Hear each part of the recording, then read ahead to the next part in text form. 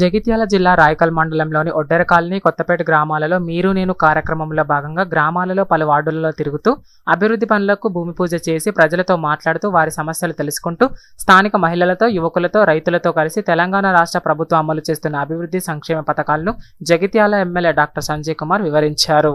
మహిళలు గ్రామ యువకులు బీఆర్ఎస్ నాయకులు రైతులు కార్యకర్తలు గ్రామానికి వచ్చిన ఎమ్మెల్యేకి బొట్టు పెట్టి ఘన స్వాగతం పలికారు.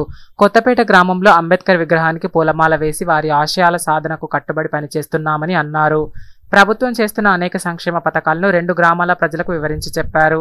ఇక ఈ కార్యక్రమంలో గ్రామ సర్పంచ్లు మండల నాయకులు సిఐ ఎస్ఐ పోలీసులు ఉప సర్పంచ్లు వార్డు సభ్యులు అంగన్వాడీ టీచర్లు ఆశా వర్కర్లు గ్రామ కార్యదర్శులు యూత్ సభ్యులు యువకులు మహిళలు తదితరులు పాల్గొన్నారు. రజకుల నాయి సంచార జోహార్ బిఆర్ అంబేద్కర్ అంబేద్కర్ ఆలోచన విధానం. వర్ధిల్లాలి అంబేద్కర్ ఆలోచన విధానం. వర్ధిల్లాలి జై భీమ్. జై భీమ్. జై భీమ్. నాయకత్వం. నాయకత్వం.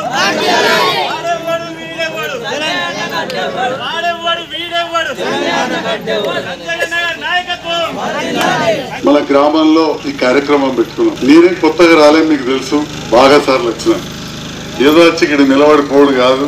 బడికాడికి వచ్చినా ఈ పోసమ్మ గుడి కాడికి వచ్చినాం కొన్ని లగ్గాలకు కావచ్చు కొందరు కష్టాలు ఉంటే కావచ్చు రావడం జరిగింది. అన్నిటికంటే ఎక్కువ కరోనా టైంలో మన ఊరు ఎంత కష్టపడ్డదన్న సంగతి నాకు తెలుసు మీకు తెలుసు. ఆ సందర్భంలో ఇక్కడికి జగిత్యాల హాస్పిటల్కు రాయకల్ హాస్పిటల్ కూడా వచ్చి మీ మధ్యలో ఉన్నా అని చెప్పి ఒక్కసారి గుర్తు చేస్తున్నాను. యా మర్చిపోయారా కరోనా అందరూ. ఎంత ఇబ్బంది పడ్డారు దేవుని దేవాల బతికి బయటపడ్డారు ప్రాణాలు పోలే. చాలా మందికి వచ్చినాయి. కానీ అలాంటి కరోనా కష్టకాలమే రాకపోయి ఉంటే ఇంకా చాలా అభివృద్ధి జరిగేది. ఏడాది అర్థం గందరగోళం అయిపోయింది. ఊర్లోకి ఇంకోళ్ళని రానిద్దామంటే భయం. మనం పోదామంటే భయం. బడి బంధు బస్సులు బంధు లగ్గం చేసుకుంటే ఇరవై ముప్పై మందితో చేసుకోవాలి. మన దగ్గర అదృష్టం మంచివాడు కరోనా తోటి వల్ల పోలేదు కానీ ఎన్నెన్ని ఎట్లా పోయినా కానీ చచ్చిపోతే కూడా పోనీయపోరు పోలీసు వాళ్ళు ఆపుదురు అటువంటి కష్టకాలం అయినా కానీ అటువంటి కష్టకాలంలో చాలామంది మర్చిపోయినాం.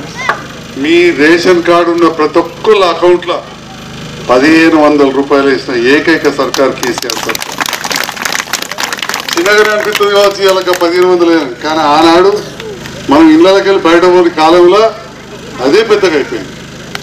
మరి ఆ టైంలో మా ఆశమ్మలు ఇంటింటికి తిరిగి మీకు టీకాలు ఇచ్చినందుకు మరొకసారి మా ధన్యవాదాలు చెప్తా ఉన్నాం రెండు వందల యాభై ఒక్క రేషన్ కార్డులు ఉంటే రెండు వందల యాభై ఒకటి అకౌంట్లలో నీ అకౌంట్లో కూడా పదిహేను వందలు పడ్డాయి. నీ రేషన్ కార్డు ఉంటే.